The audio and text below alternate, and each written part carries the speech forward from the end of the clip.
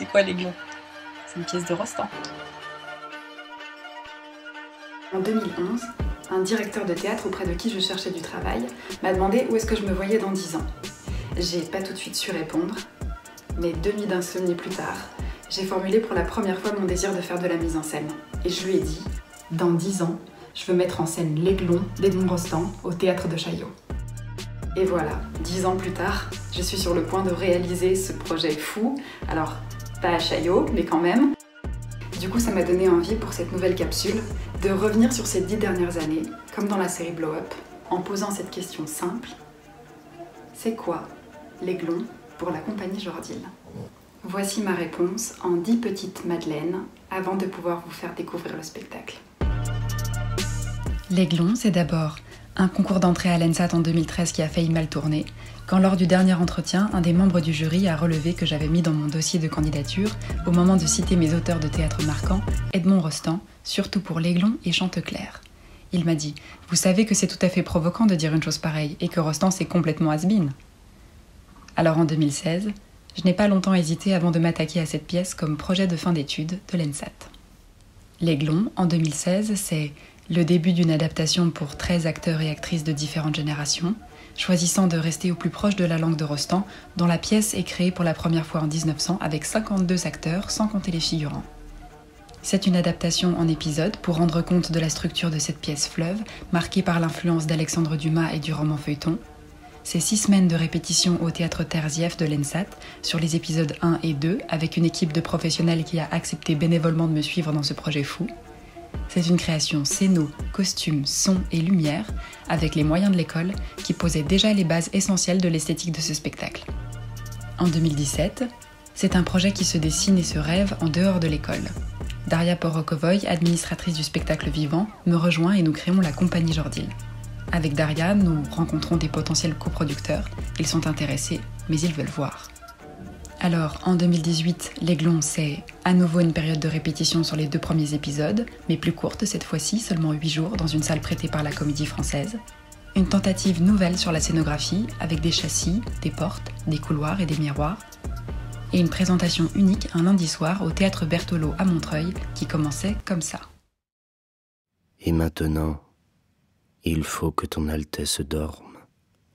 Âme pour qui la mort est une guérison dorme au fond du caveau dans la double prison de son cercueil de bronze et de cet uniforme. Dors, ce n'est pas toujours la légende qui ment. Un rêve est moins trompeur parfois qu'un document. En 2019, le projet reçoit en théorie une énorme subvention de la région Île-de-France dans le cadre du Fonds régional pour talents émergents. C'est l'explosion de joie, puis le stress, la pression, la solitude, la lutte, pour remplir dans les délais les conditions de l'obtention effective de la subvention. On croit toucher au but quand un directeur s'engage à accueillir la création en février 2021. De nouveau une explosion de joie, puis la désillusion, quand quelques mois plus tard il revient sur sa parole en expliquant qu'il a finalement pris d'autres engagements.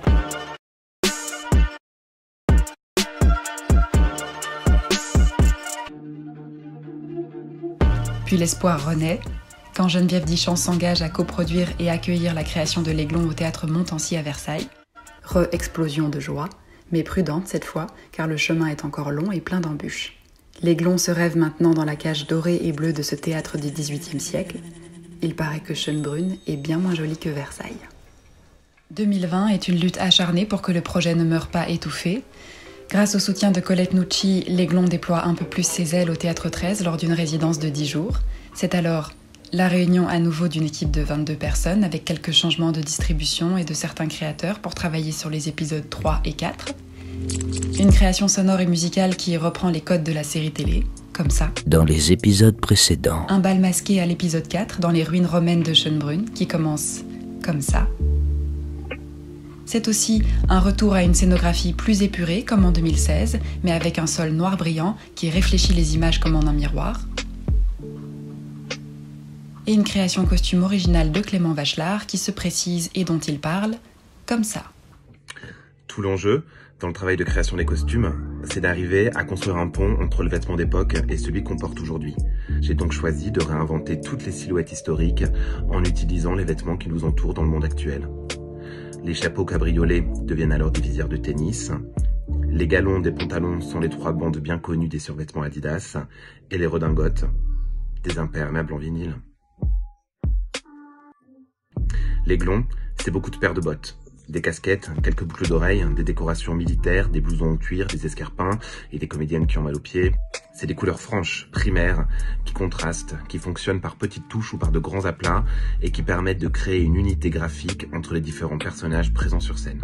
L'aiglon, c'est 13 comédiens à habiller et qui interprètent une cinquantaine de rôles. C'est des changements rapides, c'est du maquillage et du démaquillage. C'est l'été, c'est l'hiver, c'est l'intérieur, c'est l'extérieur.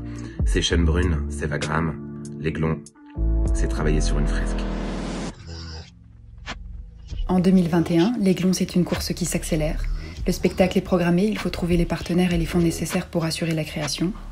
Il y a des petits ruisseaux qui font de grandes rivières, et puis il y a des soutiens qui se transforment en alliances, comme avec le théâtre Montancy à Versailles, qui me propose d'être artiste associé.